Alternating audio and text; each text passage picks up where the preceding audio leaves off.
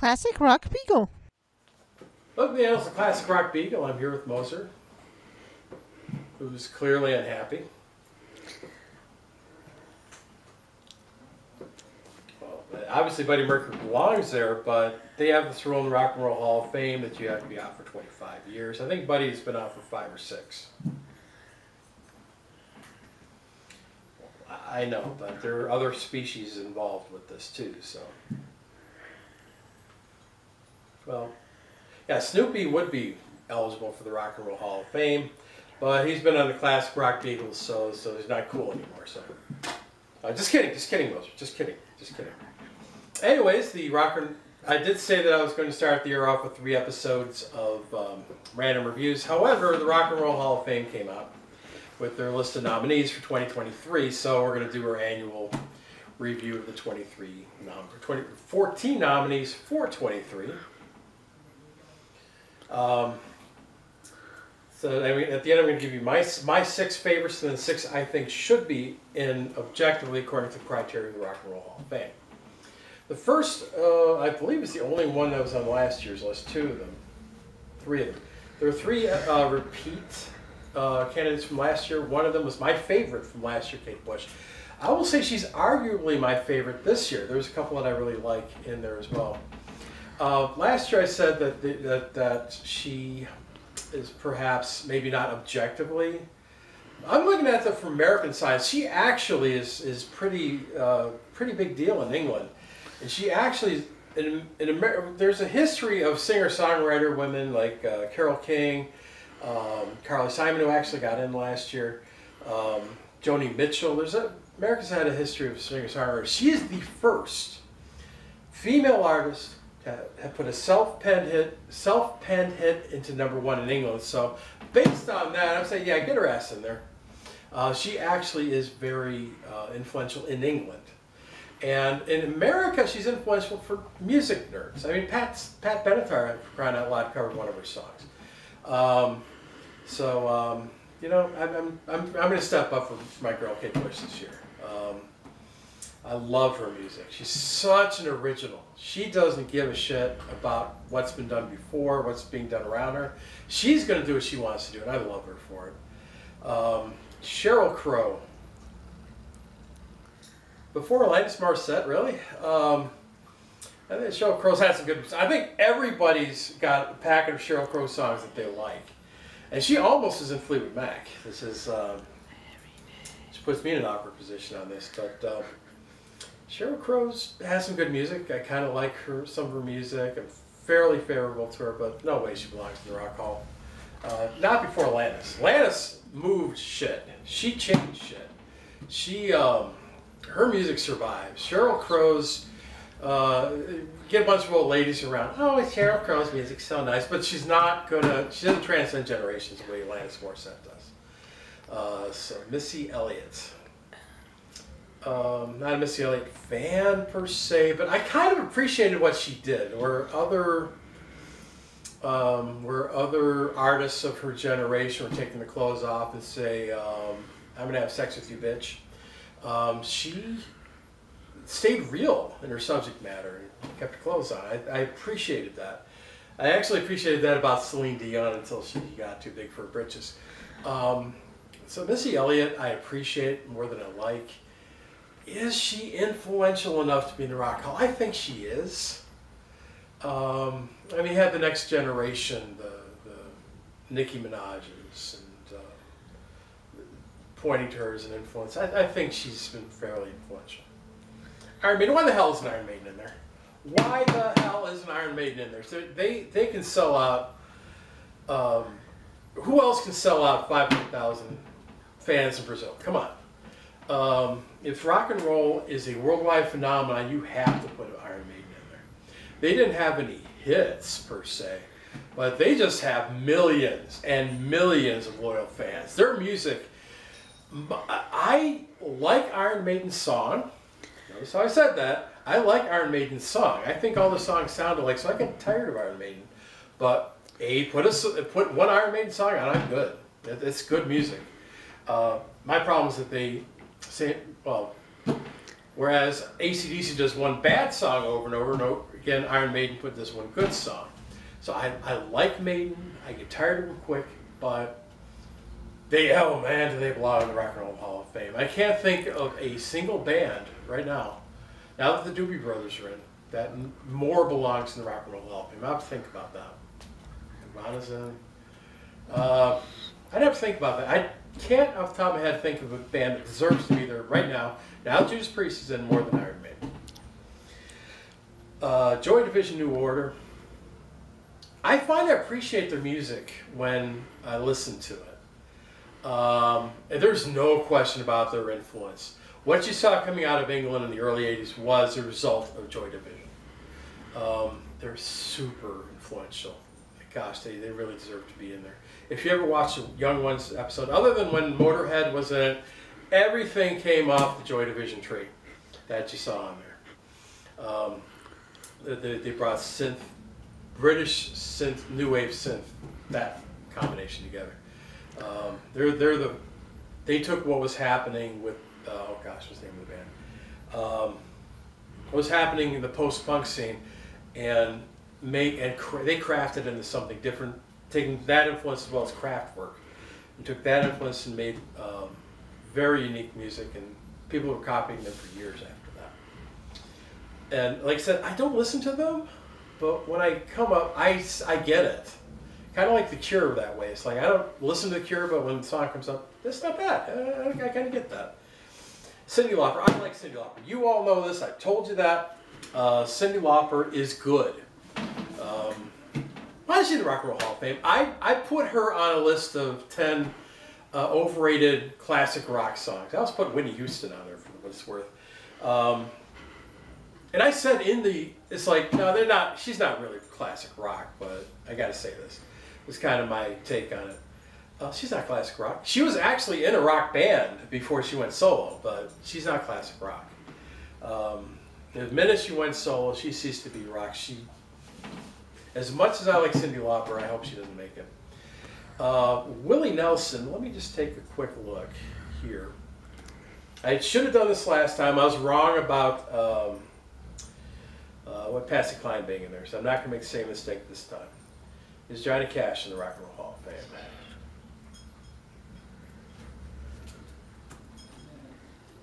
Johnny Cash. Oh, come on down. Oh, I see what's the problem is. Cash. Johnny Cash is in the Rock and Roll Hall of Fame. So, uh, I will say Willie Nelson belongs. Uh, although Willie Nelson's not quite as rock and roll as Johnny Cash was when he started. Um, I like Willie. I, I, like his persona and his personality more than I like his music, but he's a good musician.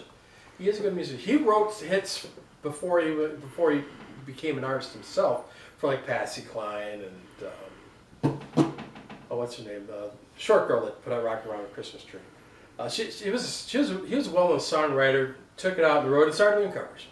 But he's a he's a good artist. Um, I like to see him in there. Rage. Come on, hello, Rage, Rage, Rage, Rage. They need to be in there. My gosh, um, they're kind of like um, Joy Division, where I don't listen to them, but I like it when, when one of their songs comes on. Uh, but it's all about the influence. It's all about the influence they had, not only on rock but also on rap. I mean, Chuck D cites Rage as one of his influences, and he was out changing the world, uh, you know, five six years before Rage came out. Uh, and he looks at Rage and says, "No, they they they've tapped into something I've been wanting to get to." Soundgarden. Really? How are they not in already? I mean, they need to be in just because they were the format for the lame list, first of all. But um, and they're actual members of Soundgarden and lame list, and if you go back to my early episodes. Um, but uh, Black Hole Sun was. Uh, I, I, was? Dave Grohl said about Black Hole Sun. He says Nirvana came out and says we are the Beatles meet um, Black Sabbath. He heard Black Hole Sun says no, this is the Beatles meet Black Sabbath. This is it's melodic, like one of the Beatles is, um, you know, um, like one of their acidy songs in like '67 but still had the punch of what Tony Iommi was doing a few years later. Spinners, Spinners are one of my favorite group, um, soul groups. Period. I love the Philly sound. Love the Philly sound. I, and when um, uh, Thom Bell died, and I put that in the uh, the tribute to um, classic rockers who passed away. I just had to put Thom Bell in there because I love the Philly sound so much. I, I this, yeah, this he was the guy behind the Spinners and against the um, oh the Delfonics and also the um, what's the name of that group? Um, Bet you back anyways.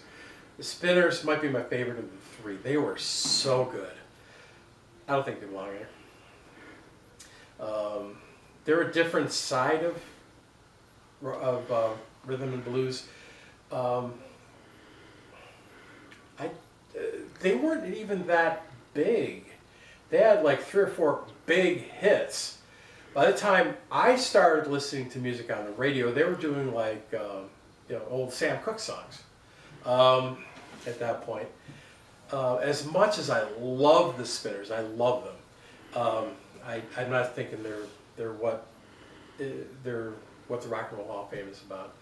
Um, get Hall get Hall and Oates in there first, and then come back for the Spinners and the uh, Delfonics and these other Philly groups.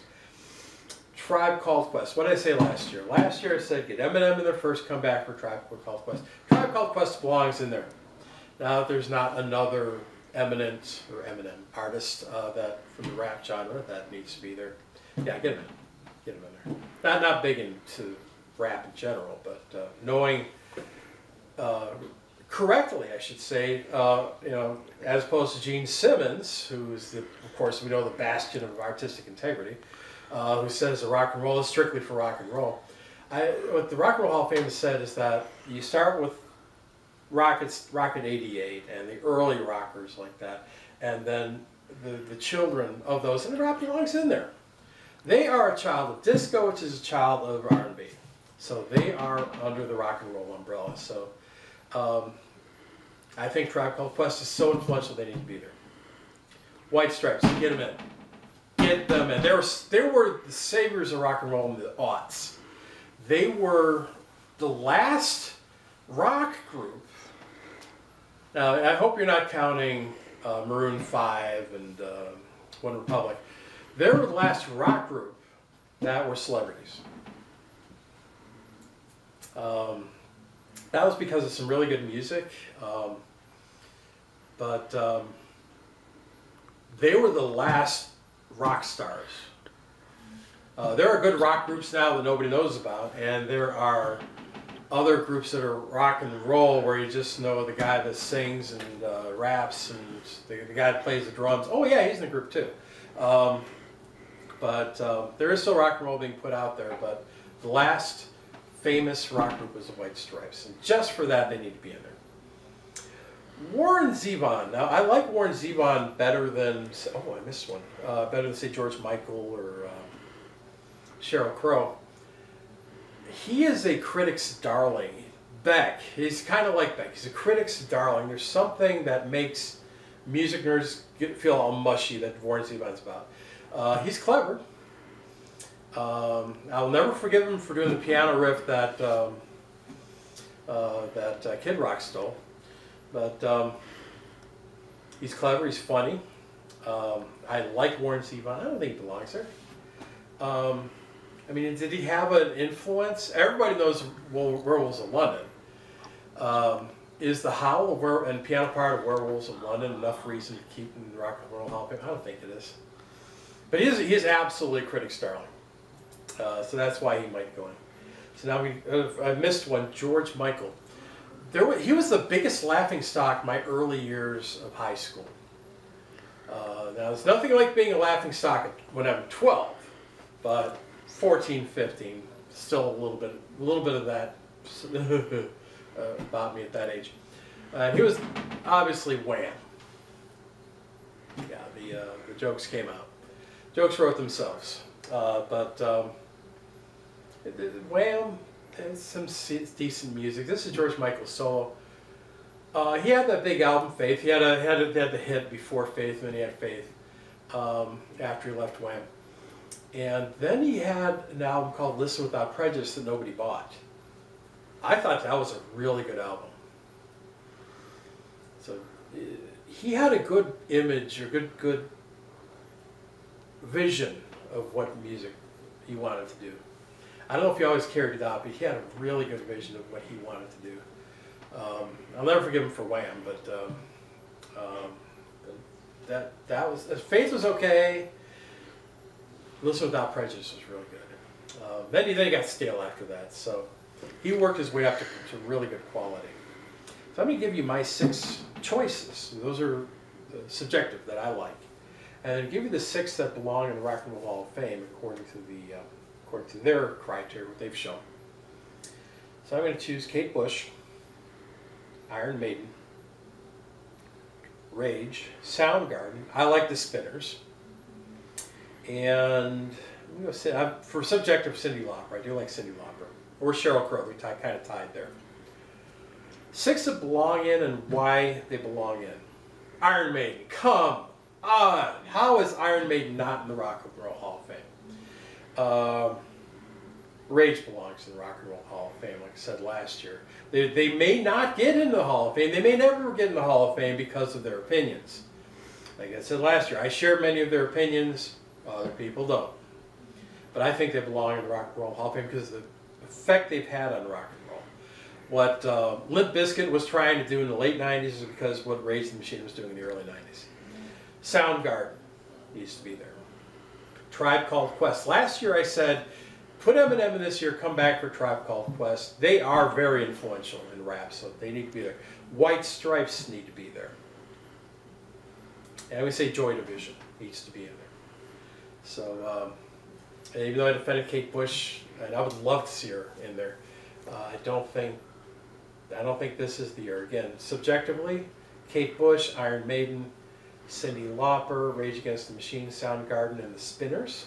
Objectively, our, uh, Iron Maiden, Joy Division, Rage, Soundgarden, a Tribe Called Quest, and the White Stripes. So that's that's my um, those are my picks for the Rock and Roll Hall of Fame. Um, you know, tell me how wrong I am down below, and uh, of course, Moser would appreciate it if you give a shout out for Snoopy for the Rock and Roll Hall of Fame. Uh, and uh, we'll come back. The next two episodes will be the um, second and third installments. Next one should come out on Lincoln's birthday. Uh, so as always, rock, rock on from the Rock and Roll Hall of Fame.